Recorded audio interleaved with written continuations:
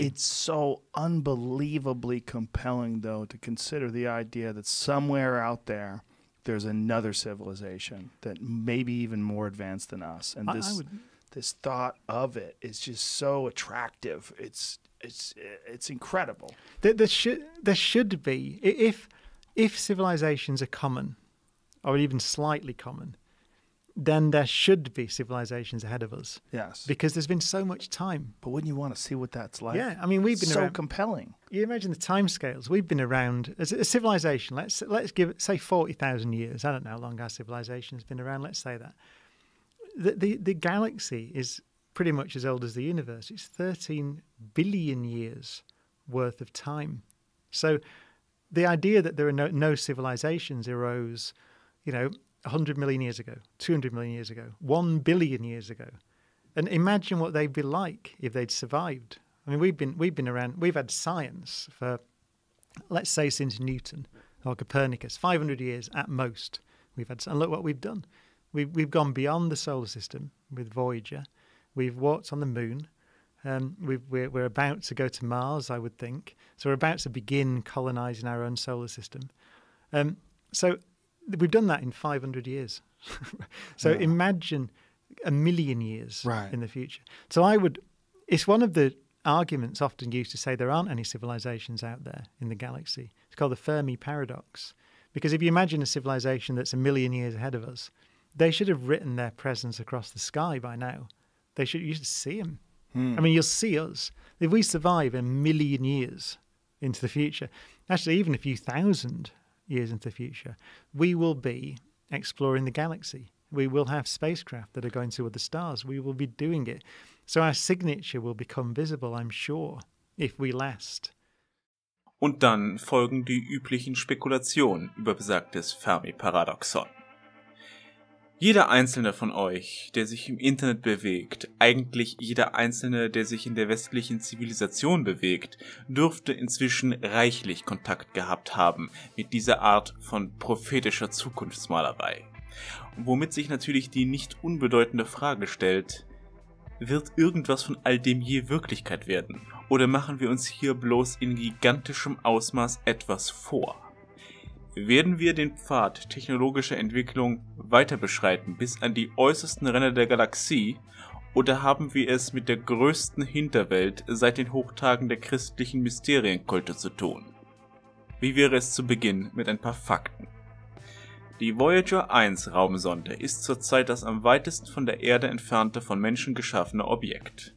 Sie fliegt seit fast 50 Jahren durchs All und hat inzwischen eine Distanz von 160 astronomischen Einheiten überbrückt.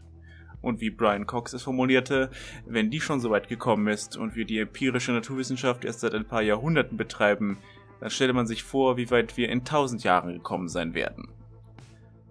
Okay. Aber wer räumt bei dieser Vorstellung der Option genügend Raum ein, dass die Antwort vielleicht lauten könnte, nicht besonders viel weiter.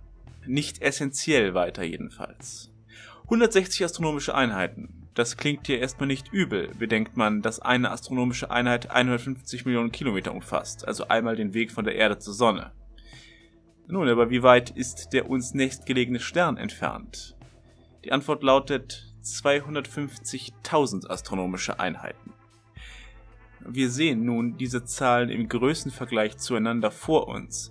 Und die erste Erklärung, die uns einfällt, warum das Universum nicht mit kleinen grünen Männchen angefüllt ist, scheint die Vermutung, man wolle in Star Trek-Manier nicht mit den primitiven Ureinwohnern des Planeten Erde interagieren, um deren Entwicklung ungestört zu lassen. Oder was haben wir noch für Deutungen? Äh, Berserker von Neumann-Sonden, die alles Leben sofort angreifen, sobald dieses sich zu erkennen gibt, weshalb alle Zivilisationen sich im dunklen Weltraumwald still verhalten? Oder vielleicht halten wir einfach nur nach den falschen Dingen Ausschau und in Wahrheit ist ein feines Netz von Nanolebewesen schon längst im ganzen All verteilt. Ja, vielleicht. Vielleicht ist das alles so. Oder, oder die Entfernungen des Alls sind einfach zu groß, die Beschleunigungen auf relevante Geschwindigkeiten kosten zu viel Energie und die Ressourcen eines erdähnlichen Planeten sind zu begrenzt, als dass es sich für irgendwen lohnen würde, interstellare Reisen an Orte zu unternehmen, die mit großer Wahrscheinlichkeit nicht bewohnbar sind. Das heißt, falls man überhaupt hier ankommt. Natürlich ist letzteres eine Option, die sich in nüchternen Betrachtungen zum Fermi-Paradoxon finden lässt, aber fast nie hört man in solchen Podcasts davon. Die Annahme und Beobachtung der postmodernen Kulturtheoretiker bestand ja bekanntlich darin, dass alle Metanarrative der Welt für den modernen Menschen des 20. Jahrhunderts ihre Strahlkraft verloren haben. Die großen Versprechungen der Religion, des Kommunismus und anderer Weltdeutungen haben ihre Überzeugungskraft eingebüßt und wurden in der Folge durch nichts ersetzt. Abgesehen vielleicht von der Wissenschaft. Nun, wenn man sich den anfangs eingeblendeten Dialog noch einmal ins Gedächtnis ruft, möchte man sich schon die Frage stellen, ob der wissenschaftliche Fortschrittsgedanke nicht weiterhin von unserer kritischen Analyse ausgenommen ist. Ob dies nicht tatsächlich ein großer Glaubenssatz ist, der ungebrochen bis in die heutige Zeit fortwirkt. Wenn der durchschnittliche Mensch für einen Moment die Augen schließt und sich vorstellt, wie die Welt in tausend Jahren wohl aussehen mag, welches Bild hat er dann vor seinem inneren Auge gezeichnet? Eine ultra fortgeschrittene Zivilisation vielleicht, deren technische Meisterschaft von Magie nicht zu unterscheiden ist? Eine Erde als verwüstetes Brachland, vollkommen zerstört durch eine apokalyptische Katastrophe? Oder, um eine Frage zu konkretisieren, wer hat sich etwas nicht Extremes vorgestellt? Nicht etwas, das radikal anders ist von unserem heutigen Zivilisationsstand. Meine Kernthese in diesem Video hier ist folgende. Es ist zwar nicht ausgeschlossen und mit wissenschaftlichen Mitteln auch nicht ausschließbar, dass die Menschheit noch weitere radikale wissenschaftliche Durchbrüche erreichen wird, aber es ist eben auch keineswegs garantiert. Es ist vielmehr durchaus möglich, dass das Ende der erreichbaren Weisheit uns viel näher ist, als wir glauben mögen. Weil wir aber nun mal in einem Zeitalter des faustischen Menschen leben, ist unsere Wahrnehmung und öffentliche Diskussion im Allgemeinen stark zugunsten extremer Fortschrittsgläubigkeit und starker Machbarkeitsutopien verschoben. Ich werde heute in deutlichem Kontrast zu dieser Position dafür plädieren, dass der anderen Option, der des weitgehenden wissenschaftlichen Stillstandes zum Beispiel, zumindest eine größere Wahrscheinlichkeit als bisher eingeräumt werden sollte und ich werde auch versuchen, die psychologischen Konsequenzen abzuschätzen, die ein solches Zugeständnis für unser Selbstbild haben könnte. Also Freunde, ist die Wissenschaft an ihr Ende gelangt oder wird sie noch Äonen weiter nach vorne streben, wie bisher? Wie sollte man sich einer solch weitreichenden Frage besser nähern als mit dem Verweis auf einen Mann, der sie sich bereits einmal gestellt hat? Im Jahre 1996 hat der amerikanische Journalist John Horgan nämlich ein Buch veröffentlicht mit dem Titel The End of Science, welches seinerzeit einiges an Aufmerksamkeit auf sich gezogen hat. In aller Kürze komprimiert stellt Horgan darin die These auf, dass die wesentlichen, die fundamentalen und wirklich allgemeinen Naturgesetze entweder bereits alle gefunden seien oder von so komplexer und unbeherrschbarer Natur, dass sie sich auf ewig einer genauen Beschreibung und vor allem einer Überprüfung durch Messungen entziehen werden. Und mit dieser kontroversen Meinung konfrontiert der Mann dann einige der bedeutendsten Wissenschaftler jener Tage, die bereit waren, ihm Rede und Antwort zu stehen. Darunter wirklich herausragende Persönlichkeiten wie John Archibald Wheeler, Karl Popper, Murray Gell-Mann, Richard Dawkins, Stephen Weinberg, Philip Anderson, Edward Witten und viele weitere Professoren vom Rang eines Nobelpreisträgers oder einer allgemeinen Berühmtheit. Es ist selbstverständlich eine provokante These, die Horgan da aufstellt, allerdings eine, die einer gewissen Erklärung bedarf, damit sie ihr volles ikonoklastisches Gewicht auch entfalten kann. Um zu verstehen, worum es Horgan geht, lohnt es, sich zunächst auf den Kontrast zweier Denkkonzepte zu fokussieren, die meiner Meinung nach diesem Buch weitergeholfen hätten vom Autor aber nicht in dieser Form aufgegriffen werden, nämlich jenes der Scholastik und jenes des Empirismus. In groben Zügen zusammengefasst ist die Scholastik jene Herangehensweise an intellektuelle Probleme, wie sie vor der Neuzeit, vor dem Aufkommen der systematischen Wissenschaften, seit der Hochantike und vor allem im Mittelalter praktiziert wurde. Die Scholastik formalisiert den Diskussions- und Denkprozess, indem sie fordert, dass eine Prämisse formuliert werden soll, von dieser aus dann logische Folgerungen abzuleiten sind. Ist ein Zuhörer mit dem Endergebnis nicht einverstanden, obliegt es ihm zu erklären, welche Schlussfolgerungen oder welche Prämisse nicht korrekt ist. Äh, die Syllogismen des Aristoteles sind hier Paradebeispiele. Alle Menschen sind sterblich, alle Griechen sind Menschen, also sind alle Griechen sterblich. wir sehen sofort, ein scholastisches Argument muss nicht falsch oder unvernünftig sein. Wir haben die Wahrheit nicht erst mit der frühen Neuzeit entdeckt. Allerdings hat diese Herangehensweise gerade bei komplexen Problemen leider auch erhebliche Schwächen. Die ganze Scholastik neigt dazu, sich selbst in vollkommen von der Realität abgeschiedenen Gedankenkonstruktionen zu verlieren, die weder wahr sind noch irgendjemandem etwas nutzen. Die bereits in der Antike weit verbreitete Überbewertung der menschlichen Vernunft und die Annahme, man könnte alles Wissbare einfach aus bereits vorhandenen Prämissen ohne Kontakt zur materiellen Welt ableiten, hat sich, ich denke, so viel steht mittlerweile fest, als Illusion herausgestellt und gerade in einer Zeit, in welcher religiöse Autoritäten wie die Bibel und Kirchenväter sehr wirkmächtig waren, ergaben sich erhebliche Probleme für die Scholastik allein aus der Tatsache, dass die propagierten Lehrsätze nicht eindeutig interpretierbar, ja nicht mal eindeutig übersetzbar waren und sind aus den aramäischen, griechischen und altlateinischen Originalen. Als Anhänger dieser Denkschule läuft man daher schnell Gefahr, sich irgendwann darüber zu streiten, wie viele Engel auf die Spitze einer Stecknadel passen und als Grundlage seiner persönlichen Ansicht einen Bibelvers heranzuziehen. Aber Schattenmacher, höre ich die Leute klagen. Wenn die Scholastik ein so heikles Mittel zur Wahrheitsfindung darstellt, wie kommt es dann, dass die antiken Griechen bereits einen so fortschrittlichen Wissenschaftsbetrieb hervorgebracht haben? Nun, meine braven Lehrlinge, das haben sie eigentlich nicht getan. Die antiken Griechen haben keine Wissenschaft betrieben, nach Prinzipien, die wir heute tatsächlich wissenschaftlich nennen würden.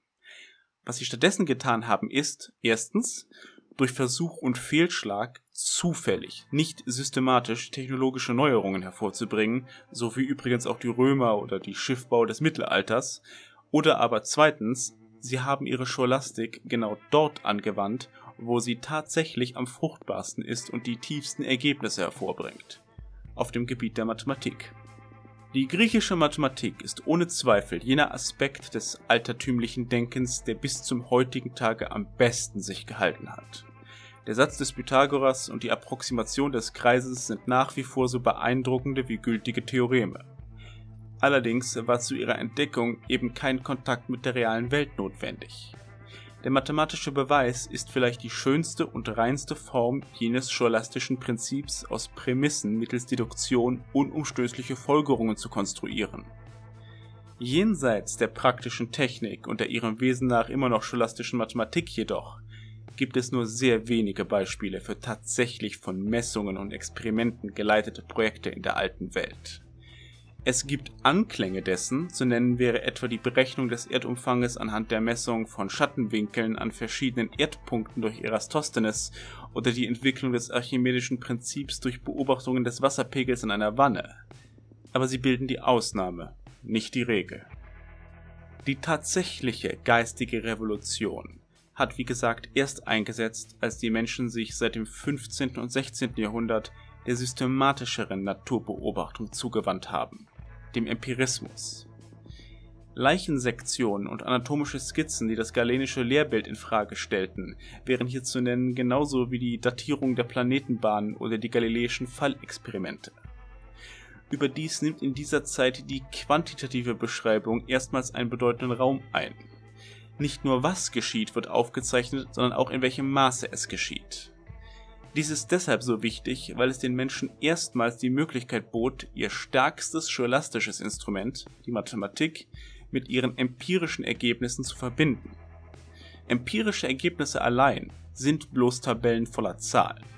Um aus ihnen eine wirklich nutzbringende Erkenntnis zu formen, bedarf es weiterhin einer Prämisse, die wir gerne Modell nennen, und diverser Schlussfolgerungen, die entweder in Form von mathematischen Ableitungen geschehen oder durch Interpretation von Formeln, das heißt durch das Gleichsetzen von mathematischen Symbolen mit tatsächlich beobachtbaren Naturvorgängen. Erst in dieser Synthese, in diesem konsequenten Dialog aus Beobachtung und Ableitung hat sich die moderne Wissenschaft entwickelt, die heute allgegenwärtig ist und die uns zweifelsohne enorme Einblicke und Vorhersagemittel geliefert hat. Soweit, so gut.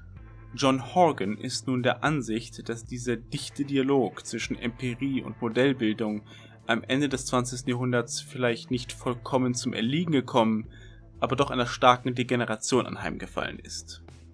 Für ihn wurde der Höhepunkt der Wissenschaft wohl in dem Jahrhundert zwischen etwa 1850 und 1950 erreicht, in welchem wir die Prinzipien der Evolution, die Quantentheorie, die Relativität der Raumzeit sowie die Grundlagen der Vererbungslehre entschlüsselt haben. Diese Theorien haben nach Horgan alle gemeinsam, dass sie sowohl sehr gut und sehr präzise durch Messungen bestätigt werden können, ja sogar noch nicht vorgenommene Messergebnisse vorauszusagen imstande sind und gleichzeitig eine sehr universelle Anwendung finden. Die Relativitätstheorie gilt überall im Universum. Die Quantenmechanik erklärt alle chemischen Bindungen, die Radioaktivität bestimmter Metalle, die Energieproduktion der Sonne und ist zur Grundlage von zahllosen technischen Anwendungen geworden. Alles bekannte Leben ist auf DNA aufgebaut und folgt den Vererbungsgesetzen. John Horgan meint weiter, dass es in jüngster Vergangenheit zwar natürlich noch Wissenschaft gegeben hat, aber dass nicht mal mehr im Ansatz so grundlegende Theorien erreicht wurden. In der Astronomie hat man Exoplaneten und die kosmische Hintergrundstrahlung entdeckt. Alle Achtung. Feine Sache das, aber nicht von gleicher Tragkraft wie die Relativitätstheorie. In der grundlegenden Teilchenphysik sehe man laut Horgan sogar, dass die Probleme tatsächlich dramatisch seien. Die in den 90ern stark an Popularität gewinnende Stringtheorie mache keine einzige Vorhersage, die sich empirisch überprüfen lasse. Sie mache laut Horgans Darstellung nicht mal Vorhersagen, die sich jemals werden überprüfen lassen. Und soweit mir bekannt, hat sich daran bis heute auch nichts geändert. Das Hauptargument, weshalb die Stringtheorie ein guter Kandidat für die Vereinheitlichung der Naturkräfte unter einem einzigen Prinzip ist, bleibt letztlich ihre mathematische Eleganz. Das aber schmeckt schon wieder sehr nach der alten Krankheit der Scholastiker. Horgan spricht in diesem Zusammenhang von ironischer Wissenschaft, ein in Anlehnung an die Literaturkritik eher unpräzise gewählter Begriff, wie ich finde.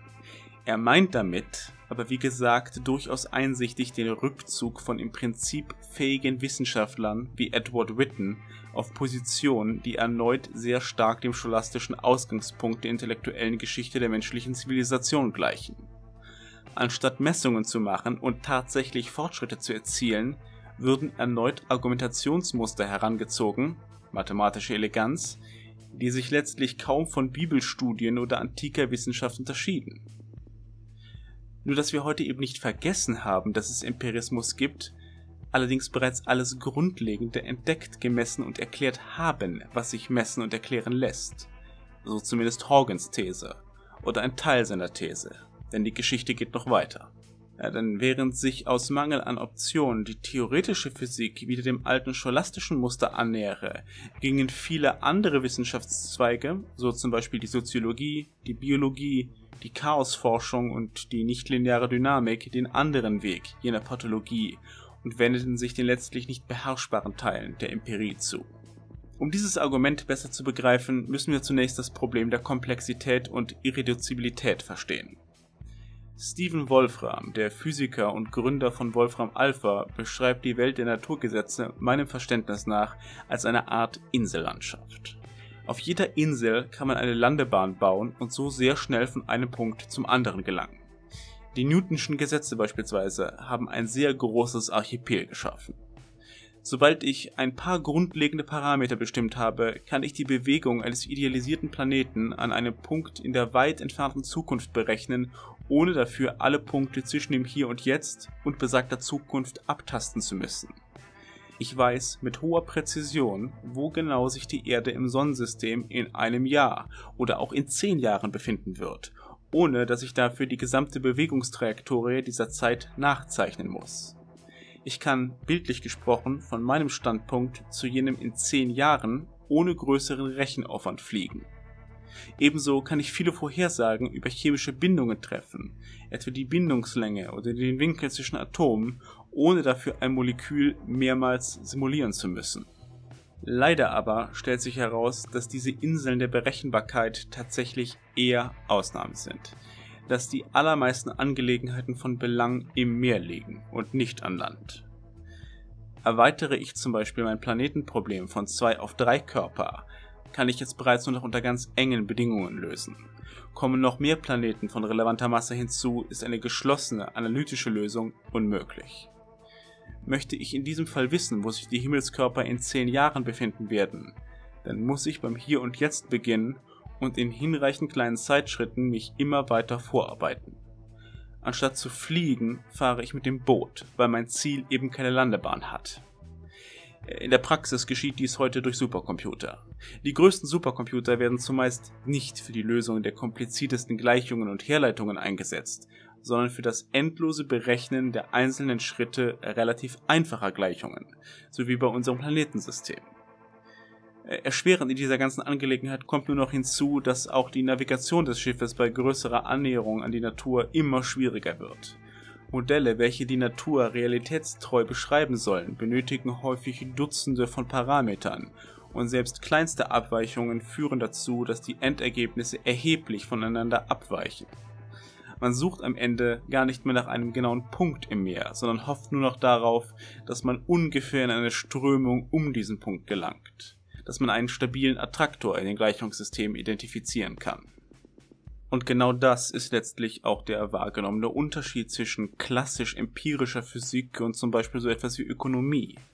In der idealen Physik bestimmen wir die sechste Nachkommastelle der Gravitationskonstante. In der Ökonomie determinieren wir grobe Gesetzmäßigkeiten und können die nächste Krise dennoch nie mit Sicherheit voraussagen. Oder nehmt die Soziologie. Seit ihrem Bestehen hat diese Disziplin genau zwei Arten von Ergebnissen hervorgebracht. Zum einen einige mehr oder weniger brauchbare statistische Zusammenhänge zweier Größen, also zum Beispiel IQ und Gehalt bei einem Korrelationskoeffizienten von was weiß ich, 0,5 oder so. Ergebnisse, welche sich so lange nutzen lassen, sofern die Umgebungsparameter der betrachteten Gesellschaft sich nicht zu sehr ändern und der Zeitrahmen nicht zu sehr gestreckt wird. Oder wir haben es zu tun mit einigermaßen regelmäßig auftretenden Langzeitergebnissen. Alle Gesellschaften bilden langfristig zum Beispiel Hierarchien aus, die sich nach ähnlichen Mustern selektieren. Das sind Ergebnisse, aber sie besitzen nicht ansatzweise die Präzision oder quantitative Rigorosität von Naturgesetzen in der Physik. Und wir machen auch keine gewaltigen Fortschritte in diese Richtung. Und wenn man Stephen Wolfram und der mathematisch bewiesenen Unlösbarkeit vieler Differentialgleichungen folgt, dann wird dies auch immer so bleiben, weil wir hier eben an eine prinzipielle Grenze der Naturgesetzlichkeit gestoßen sind.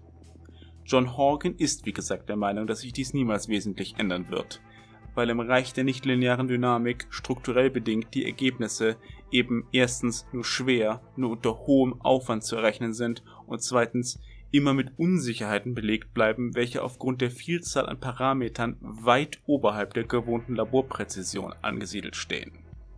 Kurz, die gesamte Welt mag genauen Regeln folgen, aber das heißt noch lange nicht, dass wir diese Regeln auch verstehen oder in einsichtiger Form zusammenfassen oder dass wir die interessanten Konsequenzen dieser Regeln ohne immensen Rechenaufwand beherrschen können. Äh, genau dieser Streitpunkt ist übrigens auch das zentrale Thema des hervorragenden Filmes Pi von Darren Aronofsky. Einer der wenigen Filme, die ich kenne, die tatsächlich mal ein wissenschaftliches Prinzip halbwegs ernst nehmen, ohne dabei dröge zu werden. The ancient Japanese considered the go board to be a microcosm of the universe. Although, when it is empty, it appears to be simple and ordered. The possibilities of gameplay are endless. They say no two Go games have ever been alike, just like snowflakes. So, the Go board actually represents an extremely complex and chaotic universe. And that is the truth of our world, Max. It can't be easily summed up with math. There is no simple pattern. But as a Go game progresses, the possibilities become smaller and smaller. The board does take on order. Soon all the moves are predictable. And so, so? So maybe, even though we're not sophisticated enough to be aware of it, there is a pattern, an order underlying every Go game. Maybe that pattern is like the pattern in the stock market. The Torah. This 216 number. This, this is insanity, Max. Or maybe it's genius. I have to get that number. Hold on, you have to slow down. You're losing it. You have to take a breath. In Pi gelingt es dem Protagonisten Max Cohen am Ende tatsächlich eine alles regulierende Dynamik zu identifizieren, die von ihm verstanden werden kann. Er findet das einfache Muster und muss sich um den Preis seiner geistigen Gesundheit nicht mehr mit probabilistischen Schätzungen von vagen Attraktoren zufrieden geben. Er kann komplexe Phänomene wie Aktienkurse auf den Punkt genau vorhersagen, mit laborphysikalischer Präzision. Er hat den heiligen Gral aller Empiriker errungen. Ein schöner Traum, doch vielleicht einer, wahrscheinlich einer, der eben ewig Traum bleiben wird. In unserer Welt jedenfalls beobachten wir eher das Gegenteil, eher das, was Maxus Professor vorhergesagt hat. Wir sammeln riesige Datenmengen, können sie aber nur schwerlich einer sinnvollen Ordnung unterwerfen. Ein gutes Beispiel ist die Hirnforschung. Isaac Newton hat aus vielleicht ein paar Kilobyte an zur Verfügung stehenden Daten die Gravitationstheorie abgeleitet. Wir heute besitzen Terabytes und Terabytes an Daten über Hirnaktivitäten und Nervenimpulse und deren Simulationen. Ein Sammelsurium an Informationen über Zellstruktur und Funktion und dennoch können wir nicht mal die kleinsten Insektengehirne zuverlässig nachsimulieren, geschweige denn ihren Denkprozess auf verständliche Regeln mit hoher Vorhersagekraft reduzieren. Horgan schließt aus diesen Beobachtungen unzweideutig, wir befinden uns in der Endzeit, zumindest der fundamentalen Wissenschaft. Technologische Entwicklungen und Verbesserungen mögen noch eine ganze Weile weitergehen. Zahlreiche Details zu dieser oder jener Theorie mögen noch hinzuaddiert werden. Aber mit den großen wissenschaftlichen Revolutionen ist Schluss. Was im Dialog zwischen Scholastik und Empirie zu erkunden war, haben wir erkundet. Auf der Suche nach bedeutenden Durchbrüchen werden die Wissenschaftler diesen Dialog nun immer weiter aufgeben und sich in eine der beiden Kategorien zurückziehen, solange bis es vor der Gesellschaft nicht mehr zu verheimlichen sein wird, dass keine relevanten Neuigkeiten mehr hervorgebracht werden und die Finanzierung neuer Projekte in einer Phase des Stasis verebbt. Na, das sind ja schöne Aussichten. Was denken nun die Wissenschaftler, welche Horgan befragt hat, über seine These? Die Meinungen sind durchaus gemischt. Einige erachten diese Zukunft als möglich oder sogar wahrscheinlich. Die meisten aber stehen diesem Ende der Dinge skeptisch oder rundheraus ablehnend gegenüber. Interessant ist dabei, und Horgan verpasst es nicht, diese Tatsache deutlich herauszustellen, dass man anhand der Argumentationsstruktur der meisten Wissenschaftler recht offensichtlich erkennen kann, dass sie Horgans These nicht so sehr ob ihrer grundlegenden Unmöglichkeit ablehnen, sondern ob der negativen weltanschaulichen Konsequenzen für ihr eigenes Leben nicht akzeptieren wollen.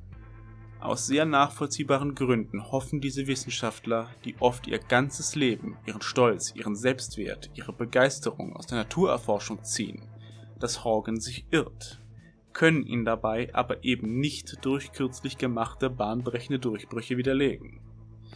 Also hört man am häufigsten das gute alte Argument, dass die Leute am Ende des 19. Jahrhunderts genauso gedacht hätten, alles sei bereits entdeckt und dann von den enormen Überraschungen der Relativitätstheorie und der Quantenmechanik widerlegt worden sein. Erstsemesterstudent oder Nobelpreisträger, konfrontiert mit der Hypothese, das eigene Fachgebiet sei begrenzt, verlagern sie sich doch alle auf ähnliche Gegenthesen. Horgan wiederum gibt in seinem Buch an, dass es eine bloße historische Legende sei. Der Glaube an das baldige Ende der Wissenschaft sei vor 120 Jahren besonders verbreitet gewesen. Es gäbe seiner Darstellung nach nur wenige Kommentare einzelner Wissenschaftler, die sich dahingehend interpretieren ließen, und die berühmteren, etwa jene von Lord Kelvin, der meinte, ab nun ging es nur noch darum, immer genauere Messungen zu machen, überhaupt keine Grundlage besäßen und wahrscheinlich erfunden oder einer Verwechslung geschuldet seien. Soweit jedenfalls Horgans Befund. Zeit, ihn zu kommentieren. Dröseln wir das Pferd dabei von hinten auf. Die Befragung irgendwelcher Experten, ob und wann etwas auf langen Zeitskalen in der Wissenschaft geschehen wird, ist ja selbst schon mal das schwächste und unzuverlässigste Argument von allen.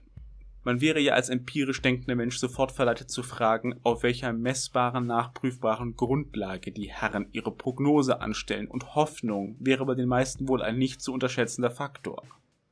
Des Weiteren aber erscheint mir die Argumentation ein einmal gemachter, hypothetischer Irrtum, wie der angebliche Glaube an das Ende der Wissenschaft am Anfang des 20. Jahrhunderts, würde auch in Zukunft ähnliche Einwände entkräften, ohne eine Betrachtung der Grundlagen als kriminelle Augenwischerei. Hat in der Vergangenheit schon einmal ein Heer eine Schlacht gewonnen, obwohl es sich zahlenmäßig unterlegen sah? Natürlich. Ist das ein Argument dafür, dass es beim nächsten Mal wieder so laufen wird, dass Mannschaftsstärke gar einen unbedeutenden Teil der militärischen Planung ausmacht? Sicher nicht.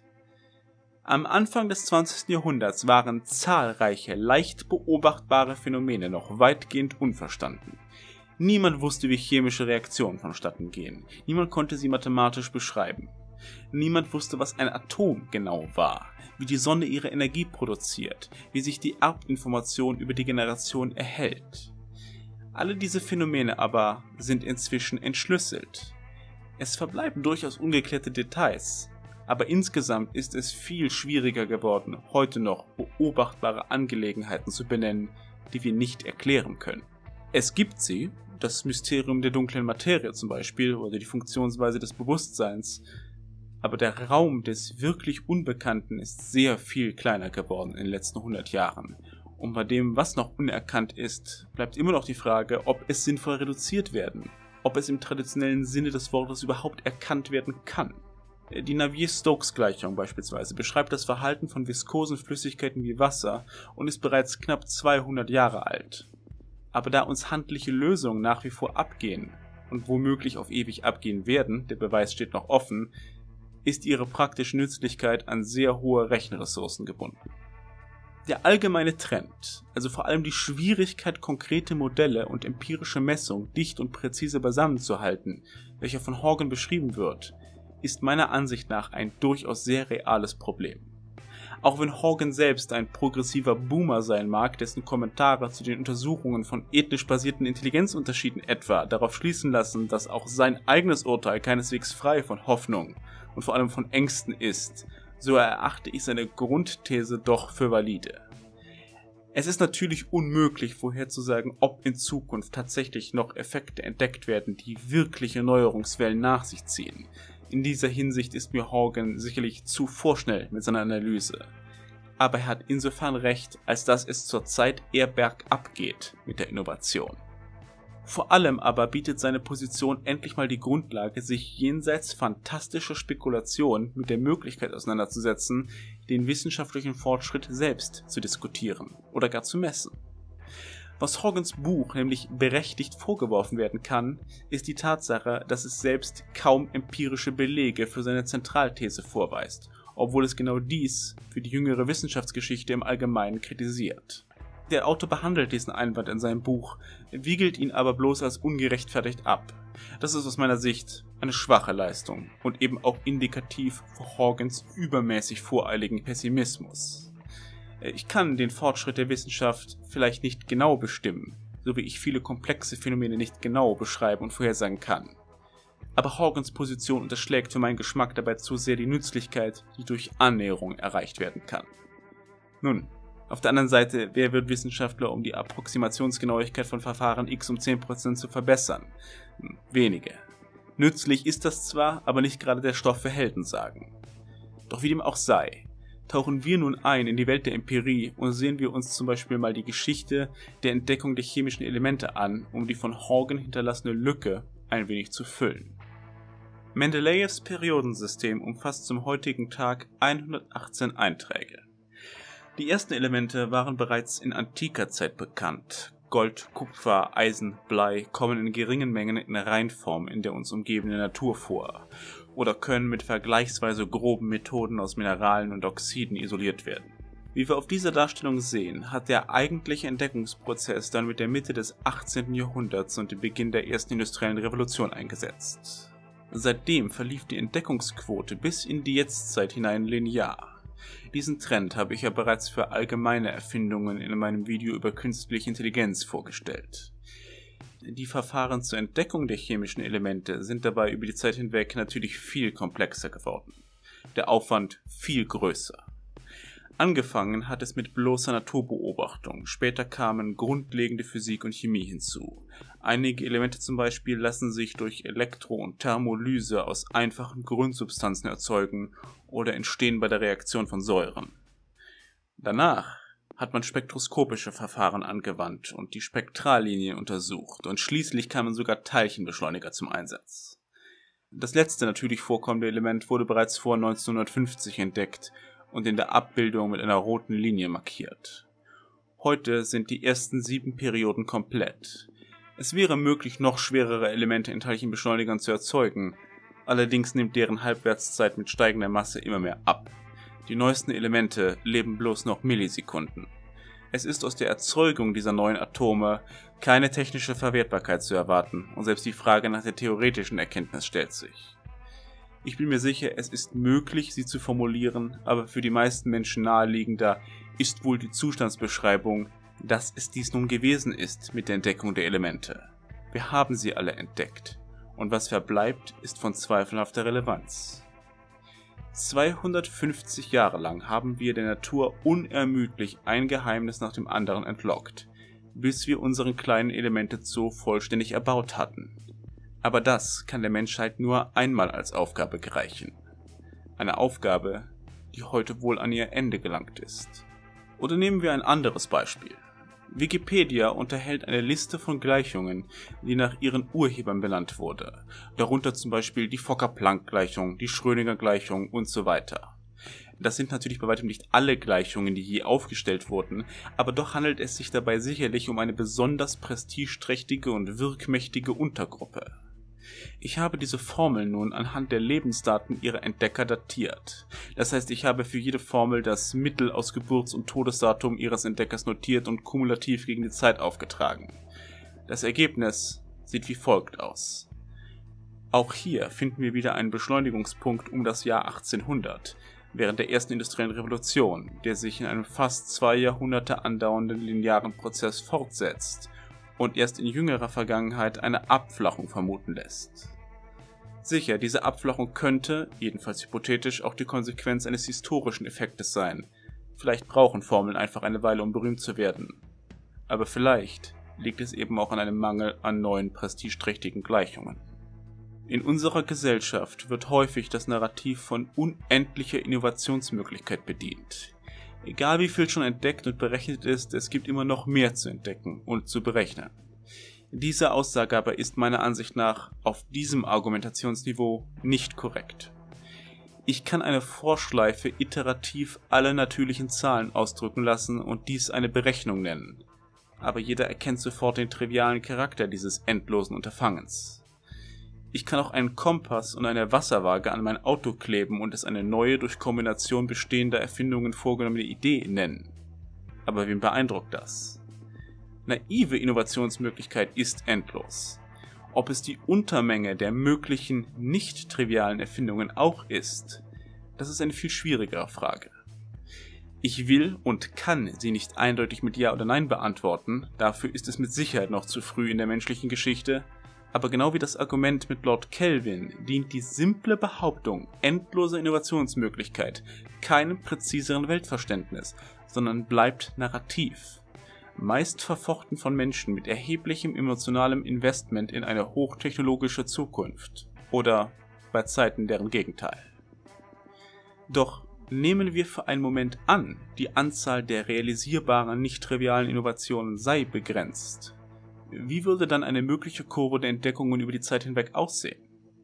Menschen, die ihre Hoffnungen auf Technologie setzen, machen häufig die Annahme, dass mit jeder gemachten Entdeckung die nächste einfacher wird. Und das ist ja auch an sich nicht verkehrt. Wer Kohlekraftwerke und Verbrennungsmotoren erfunden hat, kann mit Hilfe dieser Technologien Teilchenbeschleuniger erschaffen und betreiben. Äh, Technologie hat in dieser Hinsicht sicherlich einen selbstbeschleunigenden Charakter. Aber wenn wir dazu annehmen, dass die Zahl der möglichen Durchbrüche begrenzt ist, oder zumindest, dass es Stufen von Technologie gibt und die nächsthöhere sehr viel schwieriger zu erringen ist als die vorherige, dann haben wir zugleich auch einen bremsenden Effekt, der durch einmal gemachte Errungenschaften erzeugt wird. Denn mit jeder weiteren Entdeckung, mit jeder weiteren Formel und jedem weiteren Element hat man eine Formel oder ein Element oder eine Gleichung weniger, welches man noch entdecken kann.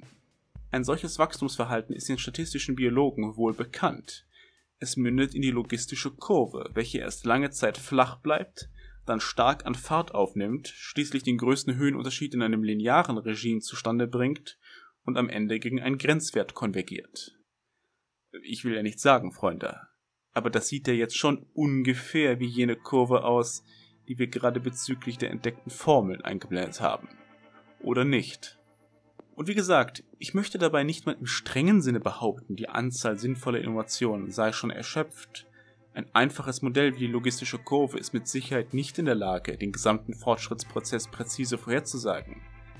aber die Frage stellt sich dennoch, ob diese Kurve nicht vielleicht ein besseres Modell darstellt als das sehr optimistische, nahezu unbegrenzte Wachstum. Ich finde es wie gesagt schwer vorherzusagen, wie sich die Dynamik der Wissenschaft in Zukunft verhalten wird. Aber die Informationen, welche mir vorliegen, deuten zumindest nicht darauf hin, dass wir gerade in ein goldenes Zeitalter eintreten, sondern vielmehr andersrum, dass wir aus einem heraustreten und vielleicht in ein silbernes übergehen, in welchem immer noch Fortschritt erzielt wird, aber eben nicht mehr ganz so dramatischer Natur wie einst oder mit größeren Zeitabständen zwischen den einzelnen Entdeckungen. Es gibt also durchaus Grund, skeptisch zu bleiben. Und was mich am Technologienarrativ unserer Zeit, wie gesagt, am meisten stört, ist, dass dieses Narrativ selbst vor allem von seinen Vertretern meist nicht mit der gleichen empirischen Rigorosität untersucht wird, wie die Gegenstände, die er proklamiert. Unsere Zukunftsvisionen sind dominiert von Science-Fiction-Filmen und nach Aufmerksamkeit heischenden Pressestatements. Aber auf dieser Grundlage oder auf weitreichenden scholastischen Argumentkaskaden lassen sich nun mal keine sehr zuverlässigen Abschätzungen machen. Ich habe mich bei den Recherchen zu diesem Video daher immer wieder aufs Neue gefragt, welche Messungen, welche quantitativen Parameter man heranziehen könnte, um den Stand und die Fortentwicklung der Wissenschaft zu bewerten. Natürlich leidet diese Aufgabe unter genau jenen Beschwerden, die wir am Anfang mit Bezugnahme auf John Horgans Buch bereits besprochen haben. Es ist nicht leicht, es ist wahrscheinlich sogar unmöglich, den Fortlauf der Wissenschaft in einem präzise empirisch überprüfbaren Modell zu quantifizieren, weil es sich hier am Ende um einen realweltlichen, nicht linearen Prozess handelt, den wir in guter alter Soziologenmanier bloß annähern können. Das aber heißt bereits, dass wir uns am Ende mit lediglich informativem Stückwerk zufrieden geben müssen mit einem Blick auf Teilaspekte, mit groben Vereinfachungen und Trendextrapolationen. Der Grund, warum die Wissenschaft Probleme hat, Fortschritte zu erzielen, ist derselbe Grund, aus dem wir Probleme haben, den Fortschritt der Wissenschaft vorherzusagen. Und dennoch existieren Indikatoren. Äh, in seinem 2012 Paper Is US Economic Growth Over? Faltering Innovation Confronts the Six Headwinds zum Beispiel diskutiert Robert J. Gordon den ökonomischen Aspekt der Innovation. Er beginnt mit der eigentlich offenkundigen, aber keineswegs alltäglich bedachten Feststellung, dass nennenswertes Wirtschaftswachstum historisch betrachtet eigentlich die Ausnahme darstellt, nicht die Regel. Vom Jahr 1300 bis zum Jahr 1750 und dem Einsetzen der ersten industriellen Revolution betrug das reale englische Wirtschaftswachstum ungefähr 0,2% pro Jahr oder etwa 20% pro Jahrhundert ist also selbst über eine sehr lange Lebensspanne bloß zu erahnen. Die erste industrielle Revolution dann war laut Gordon gekennzeichnet durch drei zentrale Erfindungen. Die Dampfmaschine bzw. ihre Derivate, die Eisenbahn sowie das Dampfschiff und die Spinnmaschine. Gerade der Prozess des Eisenbahnbaus allerdings setzte sich erst nach dem Abschluss der eigentlichen Revolution vollwertig durch.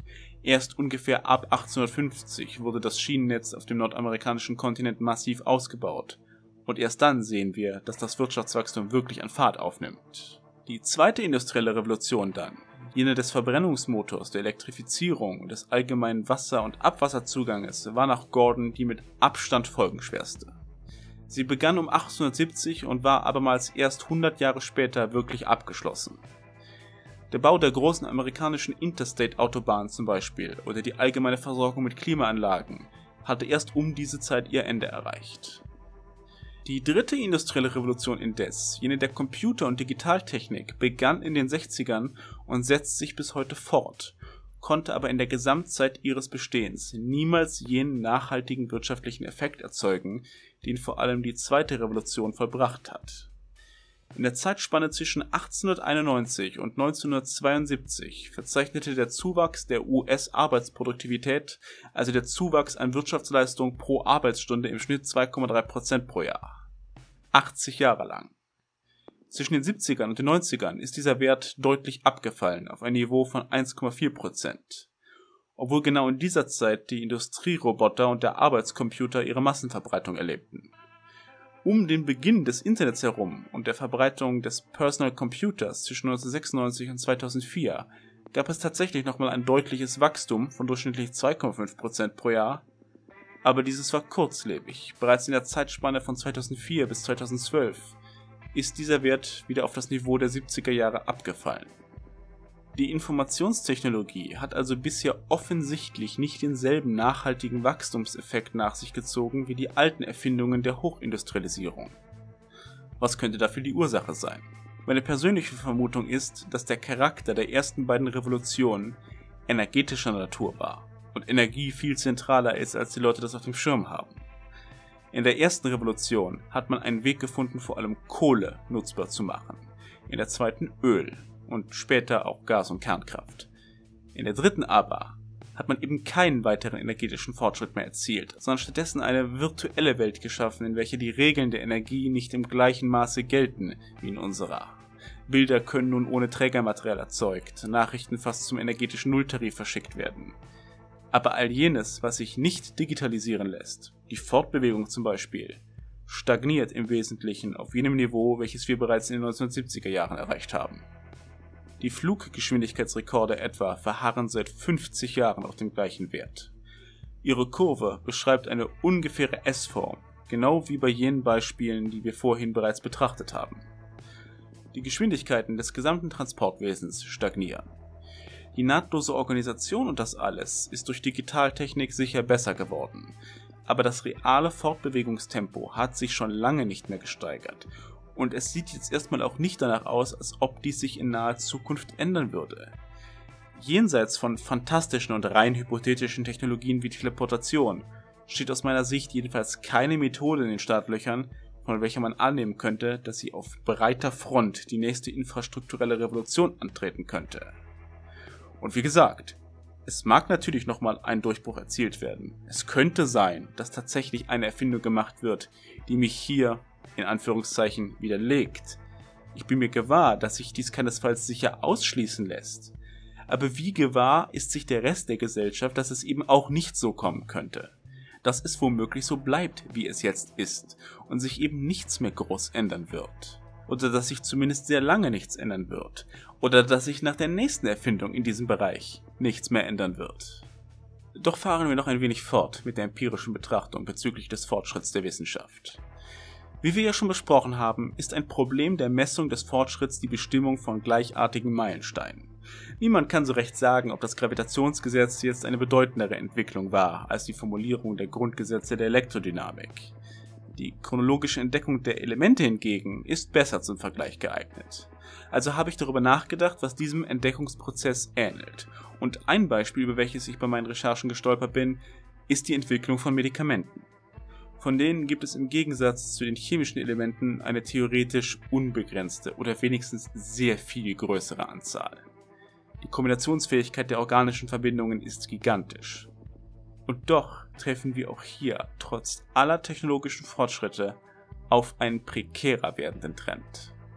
In dieser Grafik hier eingeblendet ist auf der Y-Achse die Anzahl der Medikamente, welche man für eine Milliarde inflationsbereinigte US-Dollar erfinden kann. 1950 waren es doch ungefähr 50 verschiedene Pillen. Jetzt ist es nicht mal mehr eine. Und dieser Trend zeigt eine sehr beständige Kontinuität über sechs Jahrzehnte hinweg. Diesem Plot entnommen habe ich dem 2012er Artikel Diagnosing the Decline in Pharmaceutical Research and Development Efficiency. Und darin versuchen die Autoren den hier gezeigten Trend zu begründen. Den wichtigsten Grund, den sie finden konnten, ist genau jener Effekt, um den sich das ganze Video hier dreht. Man kann Aspirin nur einmal erfinden und man hat es zum Ende des 19. Jahrhunderts getan. Danach waren alle chemischen Verbindungen, die eine schwächere schmerzstillende Wirkung zeigten als Acetylsalicylsäure, unbrauchbar. Nun gut, aber manche Leute vertragen diesen Wirkstoff nicht so besonders. Äh, diesen Menschen stehen dann als Alternativen Paracetamol und Ibuprofen zur Verfügung. Für die stärkeren Schmerzen haben wir Hydrocodon oder Morphin oder Fentanyl um in dem heute etablierten Markt der Schmerzstiller noch ein weiteres Medikament herauszubringen, reicht es nicht, eine wirkungsvolle Pille zu erschaffen. Diese Pille muss neben der Schmerzreduzierung auch ein Bedürfnis befriedigen, welches die bisherigen Medikamente nicht befriedigen können, und zwar in einem Ausmaß, das geeignet ist, den enormen Wiedererkennungswert der Marke Aspirin zu übertrumpfen. Das ist sehr schwer und wird mit jeder weiteren Erfindung schwerer. Dadurch steigt der ökonomische Druck auf das potenzielle Produkt immer weiter an und wir gelangen zu der gezeigten Grafik. Sicher, die Autoren besprechen auch noch andere Gründe, die sie für plausible Bremsklötze halten. Einer davon ist lustigerweise jene Digitaltechnik, die ja eigentlich für weniger Kosten und mehr Erfolg sorgen soll. Die Autoren argumentieren allerdings, dass man einen Fehler begeht, wenn man sich zu sehr auf computergestützte Bindungsmodelle verlässt. Äh, einstmals wurden Medikamente von Chemikern entwickelt, die durch Nachdenken und Vergleichen Vermutungen über die Wirkungsweise von Molekülen anstellten, diese dann herstellten und an Tieren ihre Wirkung beobachteten. Man befand sich also in jenem engen Dialog aus Scholastik und Empirie, den wir am Anfang beschrieben haben. Und in diesem Prozess hatte man einen guten Überblick über potenzielle Nebenwirkungen, aber insbesondere auch über unverhoffte und möglicherweise positive Nebeneffekte. Des Weiteren über die Metabolisierbarkeit und so fort. In der modernen Medikamentenforschung spielen aus Kosten- und Planungsgründen Computermodelle eine viel größere Rolle. Heute geht es verstärkt darum, ein Molekül am Computer zu entwickeln oder am besten gleich 1000 Kandidaten zu konstruieren, die ein bestimmtes Protein binden. Sagt die Simulation voraus, dass die Bindungsfähigkeit gut ist, geht das Medikament in die Testphase. Wenn nicht, wird es verworfen. Das Problem dabei ist, dass so niemals unerwartete positive Nebeneffekte entdeckt werden können sowie dass man erst sehr spät etwas über Nebenwirkungen oder Metabolisierung erfährt, denn darauf testen die Computermodelle eben nicht, weil sie es nicht können, weil die Computersimulation des Gesamtkörpers ein völlig utopisches Unterfangen wäre. Mit alten Methoden oder mit neuen. Es wird wohl nicht leicht werden, weiterhin Medikamente zu entwickeln. Und eine echte biotechnologische Innovation von Weltrang ließe sich sicher an dieser Metrik erkennen daran, dass sie echte Beschwerden heilt, zu einem Bruchteil der bisherigen Preise. Ist dies nicht möglich, dann würde ich erwarten, dass in Zukunft einfach weniger neue Medikamente auf den Markt kommen. Und möglicherweise wird es sich mit allen wissenschaftlichen Disziplinen so verhalten. Zu Beginn des 21. Jahrhunderts haben sich ein paar Wissenschaftler mal die Mühe gemacht, eine lange Liste von bedeutenden Entdeckungen aufzustellen. Diese Liste umfasst insgesamt über 8000 Einträge von der Antike bis zur jüngsten Vergangenheit und kann gegen die Weltbevölkerungszahl aufgetragen werden, um so etwas wie die Per-Capita-Innovationsrate zu kreieren. Das Ergebnis ist durchaus interessant. Es zeigt den Höhepunkt der pro Kopf gerechneten wissenschaftlichen Neuerungsrate im späten 19. Jahrhundert und seit dieser Zeit einen beständigen Abstieg. Dieser Abstieg beginnt lange vor dem großen Awakening, vor der Vermassung der Universität, selbst noch vor dem europäischen Bedeutungsverlust seit dem Ersten Weltkrieg. Und auch wenn man sich auf die Vereinigten Staaten konzentriert und die US-Patente ohne eine Wertung ihrer individuellen Bedeutung gegen die Zeit- und Bevölkerungszahl gerechnet aufträgt, so zeigt sich zumindest seit den Tagen des ausgehenden 19. Jahrhunderts keine nennenswerte Steigerung mehr. Nimmt man die Bedeutung der wissenschaftlichen Arbeiten mit in die Betrachtung, wird der Trend sogar noch verheerender. Revolutionäre wissenschaftliche Aufsätze haben für gewöhnlich als Konsequenz, dass Artikel, die vor ihrer Veröffentlichung erschienen sind, danach weniger oft zitiert werden.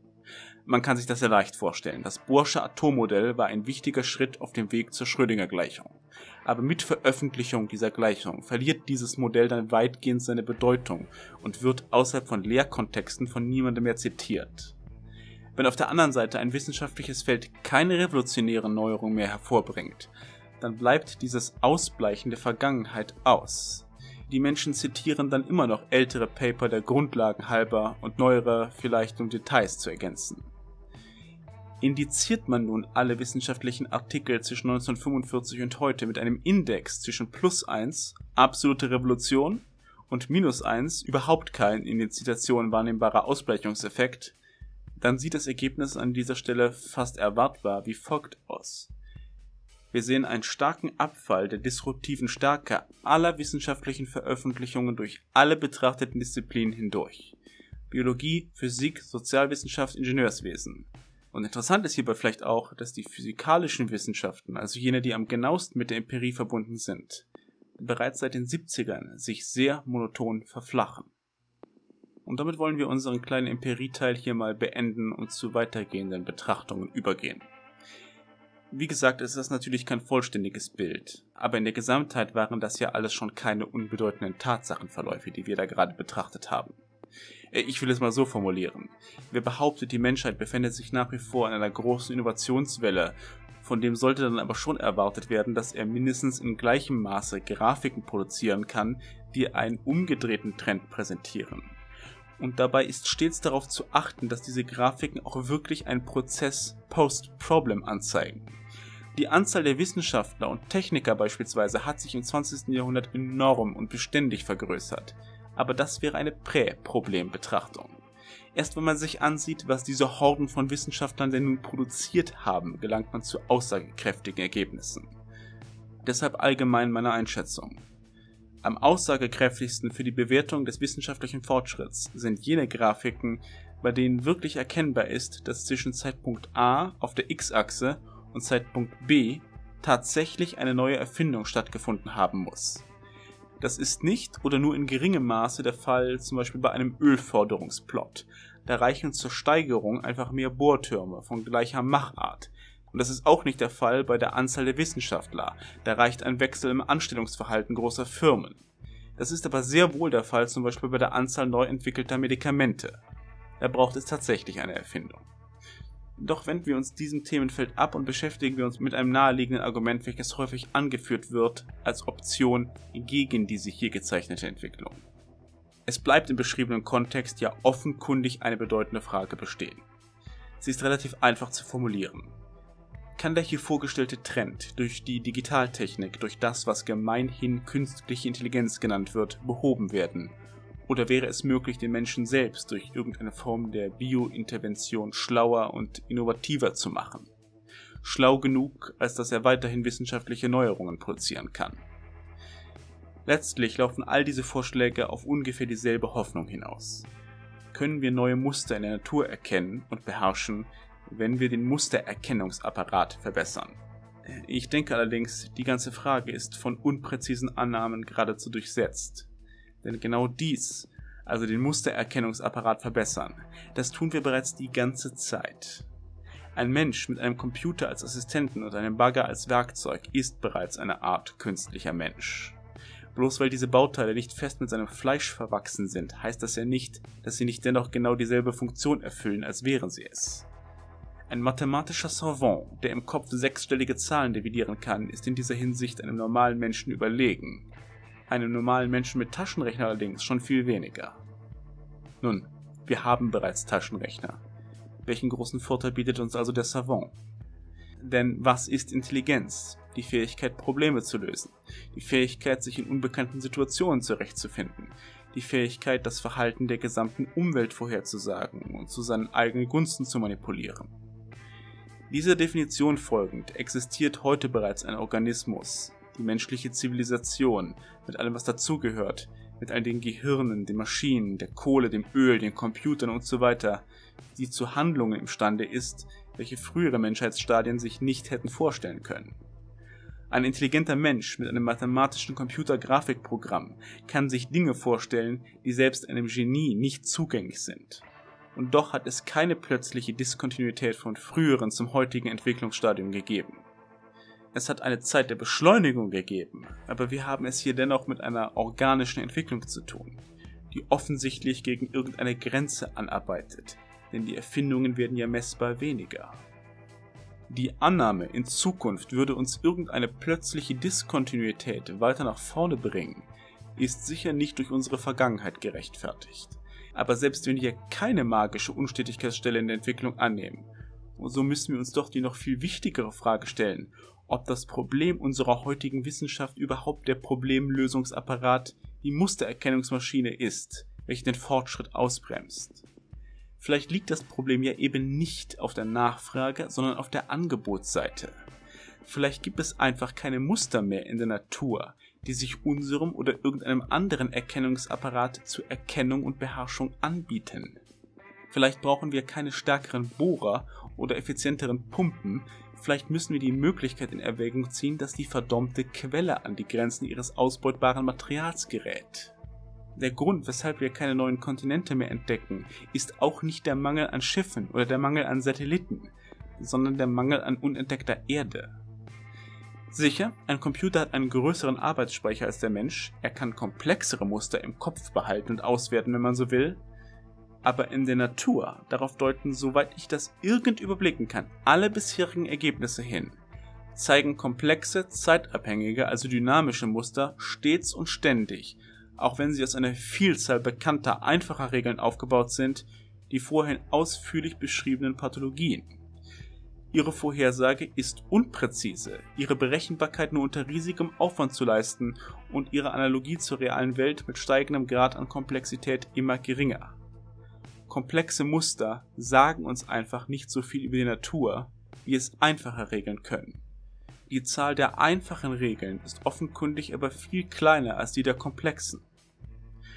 Natürlich werden die Computer uns weiterhin dabei helfen, kleinere Inseln der Berechenbarkeit aufzudecken, da habe ich keinen Zweifel dran. Aber dass wir nochmal Amerika entdecken, so wie wir es zu Beginn des 20. Jahrhunderts vollbracht haben, das ist doch sehr fraglich. Es ist jedenfalls keinesfalls garantiert. Und ich würde darüber hinaus sagen, mit Blick auf unsere bisherigen Daten, ist es nicht mal indiziert. Ebenso sind eine grundlegende Reformierung des Universitätswesens, des Peer-Review-Verfahrens, der Mittelvergabe etc., also alle institutionellen Interventionen sicherlich förderlich dabei, weitere Innovationen zu produzieren, aber auch diese Faktoren würden alle überschrieben von dem einen Stolperstein, der eben durch kein uns zur Verfügung stehendes Mittel weggekopt werden kann, dem begrenzten Maß an nützlichen Naturgesetzen.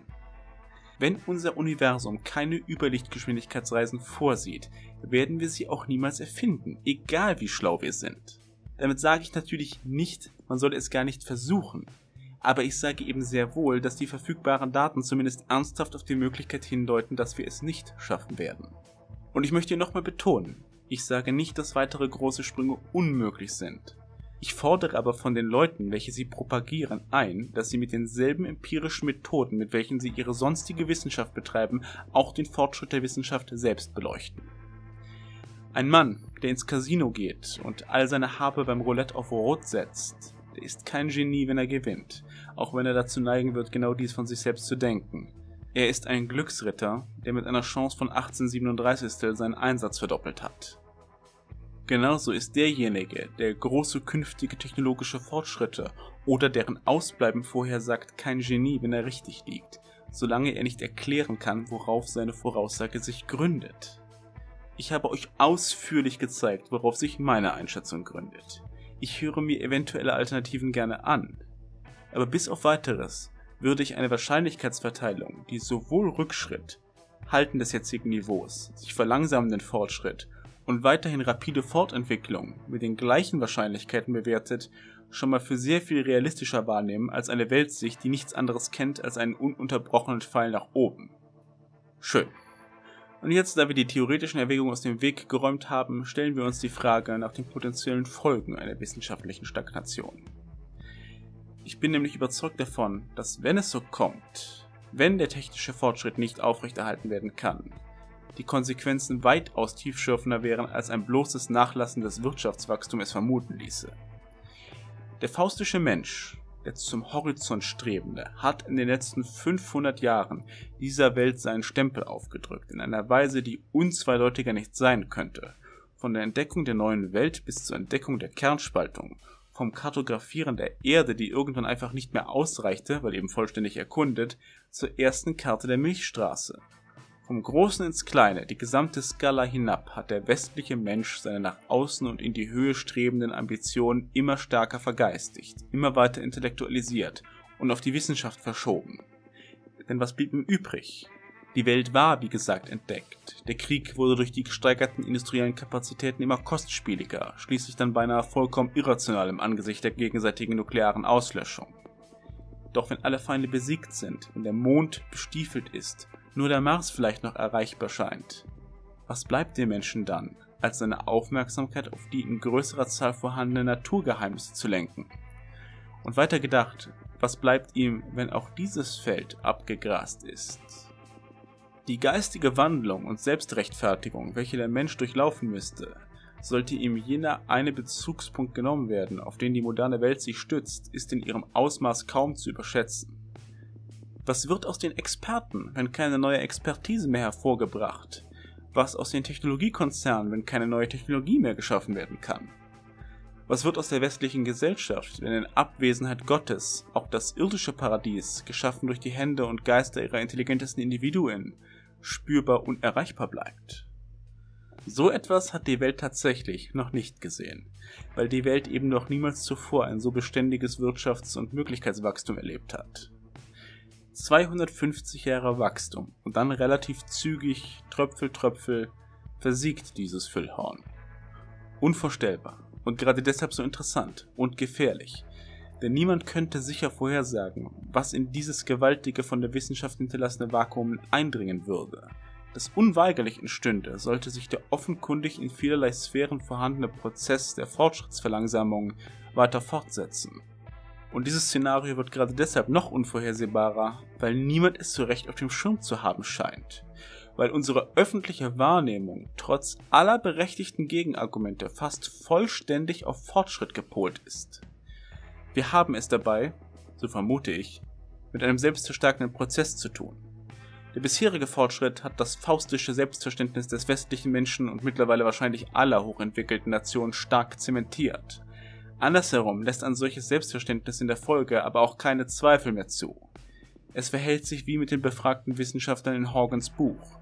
Die können nicht einfach einräumen, insbesondere vor sich selbst nicht, dass die Party mal zu Ende gehen könnte. Denn was würde dann aus ihrem faustischen Streben? Sollte es tatsächlich so kommen, dann wird sich die gesamte intellektuelle Biosphäre der Menschheit ändern. Die Technik endet natürlich niemals vollständig. Es muss weiterhin gewartet und angepasst werden. Komplexe Systeme werden immer nach Köpfen verlangen, die ein wissenschaftliches Grundverständnis mitbringen. Aber es ist ein Unterschied, ob eine wissenschaftliche Ausbildung das Prestige der zukünftigen Weltbeherrschung mit sich trägt oder ob es nur eine Karriere unter anderen ist, ein Beruf zum Erhalt des Status quo. Ich könnte hier jetzt noch ellenlang Beispiele bringen, das Ende der Science Fiction, das Ende der Universität in ihrer jetzigen Form, zumindest als dominante Kulturinstitution und so weiter und so fort. Doch will ich mich kurz fassen und einfach von einem zweiten Tod Gottes sprechen. Denn nicht geringer wären die Folgen für die Menschheit, sollten die sich abzeichnenden Kurven wie bisher weitergehen.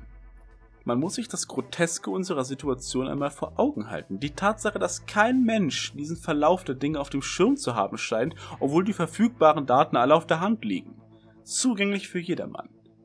Es könnte anders kommen, aber der Grund, dass weltweit keine Talkshow, kein Podcast, kein Schlaumeier-Format sich ernsthaft mit der hier aufgezeigten Option beschäftigt, sie geradezu systematisch ausblendet, ist bezeichnend. Die Menschheit hat den überwältigenden Großteil ihres Bestehens ohne rapiden Fortschritt gelebt und ohne systematische Wissenschaft, ohne schnelles Wirtschaftswachstum. Es ist also durchaus möglich, so zu existieren. Vielleicht werden die Menschen in tausend Jahren auf unsere Zeit also nicht als jene eines technologisch primitiven Zeitalters zurückblicken, sondern auf das einmalige goldene Zeitalter der wissenschaftlichen Entdeckung, das irgendwann sein Ende gefunden hat so wie wir heute auf die große Zeit der Segelschifffahrt und der Expedition als ein im Wesentlichen abgeschlossenes Kapitel blicken. Doch bin ich immer noch nicht fertig. Denn abschließen möchte ich dieses Video mit einem Ausblick auf einen meiner nächsten Beiträge. Denn es steht aus meiner Sicht sogar durchaus in Frage, ob Stagnation selbst überhaupt ein realistisches Szenario ist. Man könnte ja die heute aufgestellte Hypothese nehmen und zum Schluss kommen, okay, es geht womöglich nicht viel weiter nach vorn, aber was wir haben, haben wir. Wir werden ja die einmal erreichten Erkenntnisse kaum wieder vergessen. Zumindest die Grundlagen sind ja zu Genüge in unzähligen Artikeln und Büchern festgehalten. Und das ist natürlich wahr. Die Wahrscheinlichkeit, dass das erreichte Wissen in großem Maße wieder verloren geht, erscheint auch mir nicht als besonders ernstzunehmende Gefahr. Dass die allgemeine Kompetenz und Fähigkeit, komplexe Systeme aufrechtzuerhalten aufgrund sinkender absoluter Menschenanzahl, sinkender Per-Capita-Qualität des Humankapitals und ungünstiger Kulturentwicklungen wie Diversity and Inclusion verloren gehen mag oder zumindest stark in Mitleidenschaft gezogen wird. Das kann so kommen, aber auch dies ist nicht der Punkt, auf welchen ich eure Aufmerksamkeit lenken will. Mag dies auch ein sehr bedeutender kurz- und mittelfristiger Einflussfaktor sein, so wäre er im Prinzip doch reversibel. Diese ungünstigen Entwicklungen könnten in historischer Zeit, das heißt im Verlauf von Jahrzehnten und Jahrhunderten beeinflusst oder gestoppt werden was allerdings einer technologischen Stagnation auf einem Level, so wie wir es jetzt gerade kennen, zugrunde liegt, ist weiterhin der Verbrauch jener enormen Energieressourcen, deren Nutzbarmachung die erste und zweite industrielle Revolution erst begründet haben. So hochtechnologisch viele Anwendungen auch erscheinen mögen, Sie alle hängen zumindest bislang auf Gedeih und Verderb von Kohle, Gas, Uran und vor allem von Öl ab. All diese Ressourcen stehen der Menschheit gemessen an historischen Zeitmaßstäben nur in sehr begrenztem Maße zur Verfügung. Niemand, der sich ernsthaft mit der Materie beschäftigt, spekuliert jedenfalls darauf, dass Öl unter der Annahme gleichbleibender Förderraten in 100 Jahren noch zu einem Preis bezogen werden kann, welcher dem heutigen auch nur nahe kommt. Ob diese Energieträger ersetzt werden können und ob dies schnell genug geschehen kann, um einen einigermaßen reibungslosen Übergang zu gewährleisten und wie realistisch eventuelle Alternativen sind, das wollen wir in naher Zukunft klären. Ich kann allerdings schon mal einen Spoiler geben. Auch wenn durchaus ernstzunehmende Alternativen zu diskutieren sein werden, so ist die Annahme, die gesamte über 150 Jahre gewachsene Energieinfrastruktur der Erde und unser heutiger exorbitanter Verbrauch ließen sich einfach so durch Solarzellen oder irgendeine Wundertechnologie ersetzen, ohne dass knapp 10 Milliarden zu versorgende Menschen das auch nur mitbekämen, ist ein weiteres Narrativ, welches sich die Leute erzählen, weil ihnen andersartige Folgen zu düster erscheinen. Abermals sind die Verhältnisse am Boden der Empirie kritischer, als es die allgemeine Stimmung vermuten lässt. Vielleicht nicht aussichtslos, aber sicherlich eines sehr genauen Blickes wert. Und so will ich euch verlassen mit einem letzten Gedanken, einer quantitativen Perspektive. Denn an dieser mangelt es uns ja offenkundig. Nehmen wir mal an, es sei wahr und das Beste in wissenschaftlicher Hinsicht läge bereits hinter uns. Was macht dann der Mensch, faustisch oder nicht, eigentlich in all der Zeit, die noch kommen mag? Die Geschichte der menschlichen Hochkulturen ist vielleicht 5000 Jahre alt, die der systematischen Wissenschaft 500. Diese Erde, auf der wir leben allerdings, und die Sonne, welche sie mit Energie versorgt, werden noch für 900 Millionen Jahre komplexes Leben auf dem Planeten zulassen, bevor die Oberflächentemperatur so sehr ansteigt, dass alles hier zur Wüste verdorrt. 900 Millionen Jahre. Sagen wir eine Milliarde, so genau weiß es sowieso niemand. Oder auch nur 500 Millionen, um sicher zu gehen. Uns steht als Spezies also mindestens eine Zeitspanne zur Verfügung, die so lange reicht wie die gesamte bisherige Geschichte komplexen Lebens seit der kambrischen Explosion. Gleichzeitig aber mögen uns die Mittel abgehen, unseren Gestaltungsrahmen in dieser Zeit endlos weiter auszudehnen. Was würde es für die Menschheit bedeuten, sich dieses Schicksals, dieser Aussicht anzunähern? Natürlich kann niemand das abschätzen. Keine unserer Perspektiven reicht auch nur ansatzweise so weit. Das alleine aber ist schon ein Problem. Sich einen Rahmen denken zu können, ohne in der Lage zu sein, ihn geistig zu füllen, erzeugt große Lehre, aber in gewissem Maße auch große Möglichkeit. Was nun sicherlich in den nächsten Jahrzehnten und Jahrhunderten folgen wird, in Ermangelung einer logisch natürlich immer denkbaren Umkehr der heute besprochenen Trends, wird eine Inversion der Richtung des Aufmerksamkeitspfeils der Gesellschaft von außen nach innen sein. Wenn, mit Bismarckschem Verstand gesprochen, Spannung nicht mehr an die Peripherie abgeleitet werden kann, wenn kein neuer Horizont glaubhaft mehr vermittelt werden kann, dann werden die Menschen sehr viel mehr um den Kreis des Bestehenden sich streiten. Das römische Reich war innerlich ziemlich friedlich, solange es nach außen Beute zu machen galt, und ziemlich zänkisch, als die Erweiterung nach außen zum Erliegen kam. Womöglich wird dieser Prozess sich nun auf der Ebene der Hoffnungen und Ideale wiederholen.